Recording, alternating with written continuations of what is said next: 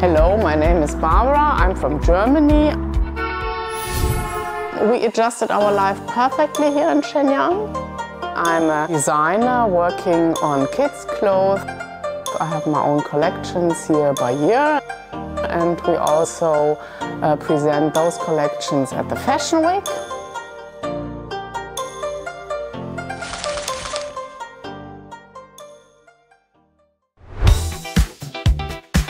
Uh, I had the idea when I firstly gave birth to my son.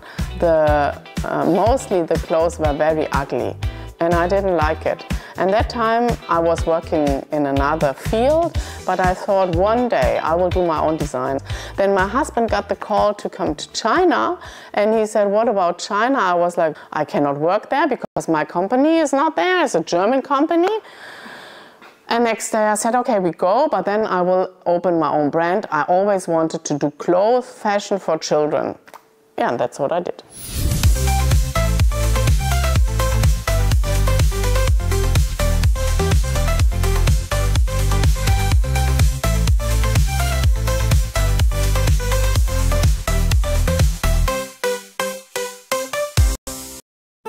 I think we women should stick together and go out and um, celebrate what we are able to do.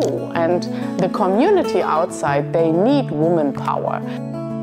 So I went to the uh, free trade zone and uh, I applied for my business license and 10 days later I could buy the shops and I had the license done. It was amazing sunglasses from Coco Chanel and his sunglasses Ray-Ban. And later on, when we checked the pictures in the evening and we still had no name for the brand, he said, why not call it Coco and Ray? As we live in China, we get a lot of inspired in here. Also, the pattern from um, old China is amazing. We can make a mix out of it. Take all the best. Take Chinese, being fast, combined with the German quality and all the materials we have here in China, and it's just perfect.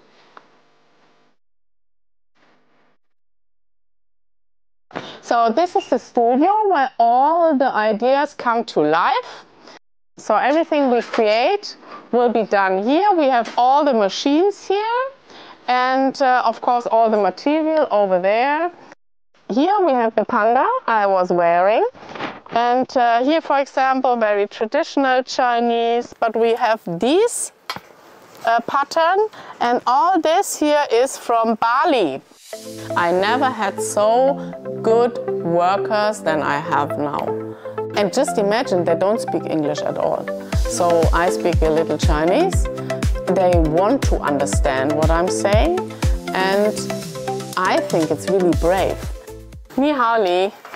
这个衣服我要号码一百色，我喜欢这个颜色，也这个颜色，嗯，这个三个才一百色。嗯，明白。好。So you see, it's so easy. awesome. We live at the riverside, so we can uh, have a walk in the evening and um, we can talk to the people. There we get also uh, in touch with all the people here in Shenyang. They are very open, very interested. I think whole China, they are all so interested, open-minded. We are really uh, appreciating that a lot.